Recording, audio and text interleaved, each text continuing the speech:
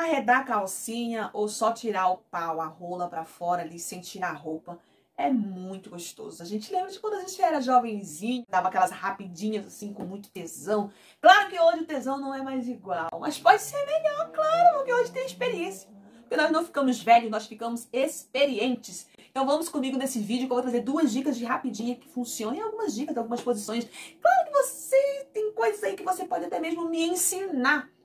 Mas quando a gente escuta alguém falando sobre, a gente vai, sabe, a cabeça da gente vai começando a trabalhar, a gente, poxa, eu posso fazer melhor do que ela tá falando. Com essa onda de corona aí fora, né, minha gente? As crianças tudo em casa, de férias, descansados.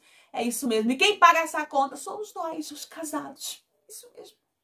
Porque esse negócio de colocar o menino para dormir, para depois você ir lá fazer o baculejo, não dá certo. Pelo menos aqui em casa, as crianças geralmente colocam o pai para dormir primeiro. e depois que dorme, parece que não fica aquela coisa legal, né, gente? Aquela coisa, parece que.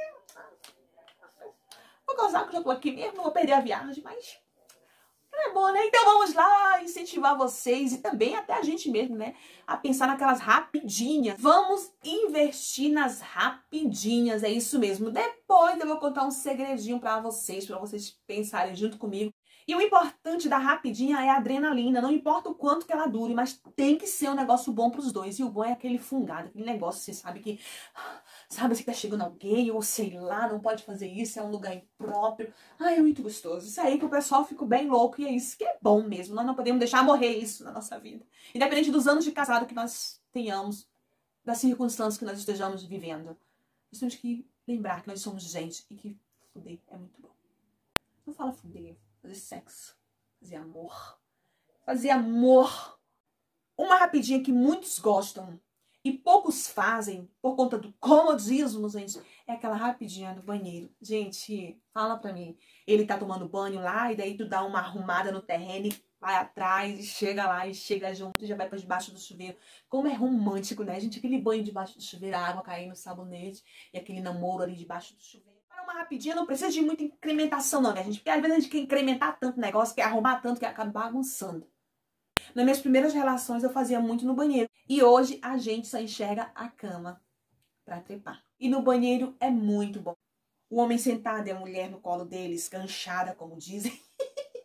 Ou a mulher no vaso de costa, bem empinadinha também. Gente, isso é muito bom, molhadinho, meladinho. Gente, isso é muito gostoso. Eu sei que você gosta. Quando eu era adolescente, eu ficava imaginando assim no chuveiro, beijando, e a água caindo, o sabonete passando, e o homem passa sabonete. Gente, pensa nisso, gente.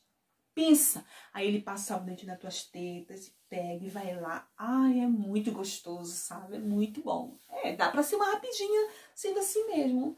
E as crianças estão lá jogando, estão brincando, e a gente tá lá no banheiro, lá. Gente, delicioso!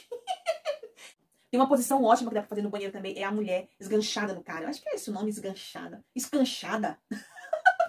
Aquela posição que o cara pega a mulher assim, sabe?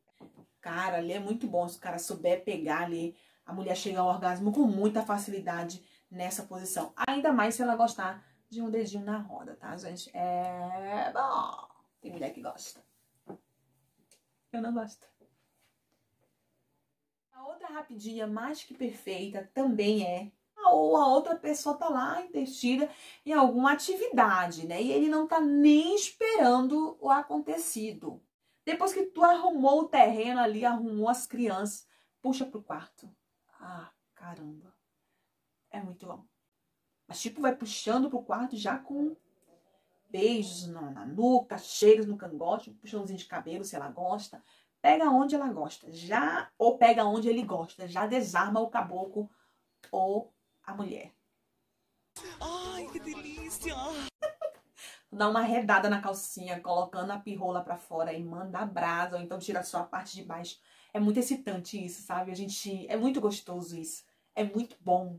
É muito bom. Vocês estão pensando, vocês estão lembrando o quanto que isso é bom, gente? Vai pegando ali com muito desejo, sem machucar, tá? Sem muita papagaiada, muito coisa assim natural, coloca para fora esse homem tesudo que tem aí, ou essa mulher tesoura que tem dentro de ti para fora, liberta e vai lá sarrando bem gostoso para que seja bom para os dois. Sabe o que é sarrar, gente? Sabe? Sabe? Sarrando assim, ou na malemolência. Ai, meu Deus do céu, acho graça de mim mesma. Ai, acho que eu não sou certa. Nós casados, principalmente nós que temos filhos, somos pobres, vamos falar na realidade, tipo, casa pequena, sabe? Essas coisas todas que nós pobres sabemos que nós enfrentamos. Só um banheiro, banheiro fora do quarto. Coisa triste, né, minha gente? Mas a gente vai pensar nisso, a gente não faz sexo gostoso. E aí? Hã? Nós acabamos caindo na rotina e no comodismo da cama. Pensou em sexo, cama. Pensou em sexo, cama. Pensou em sexo, já sabe até as posições, sabe tudo. Sabe aquela coisa assim, parece um culto, já é tudo bem. Já é feito um cronograma antes do ato. É horrível isso, né? Nós gostamos muito de fazer sexo em pé. Sabiam disso? É verdade? Muitos gostam de fazer sexo em pé. Por quê? Porque quando nós começamos a nossa vida sexual, a maioria de nós, nós fazíamos muito sexo em pé e é muito gostoso.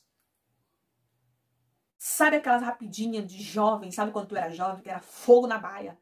Ave Maria, mas era bom, não era? Tá louco. E mas era gostoso. então, quando nós fazemos sexo em pé, quando nós fazemos alguma dessas loucuras, vem a nossa memória não a pessoa que a gente fez lá na nossa juventude, na nossa adolescência, mas vem na nossa memória aquela pessoa que eu, aquela pessoa que eu era. Isso faz eu me sentir jovem, isso faz eu me sentir bem, isso faz eu me sentir viva, sim. Essa de arredar a calcinha é uma fantasia de muitos. Muitos deles hoje, depois de velhos, não entendem. Mas é muito provável que eles tenham vivido isso em uma fase muito boa na sua juventude.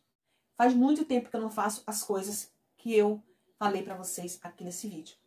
Mas eu vou já ali fazer. Vão fazer também a parte de vocês. Eu gosto dessa interação, sabe, gente? Eu sei que eu ajudo casais com isso. Isso é muito bom. E eu me ajudo também. Beijo, gente. E até a próxima.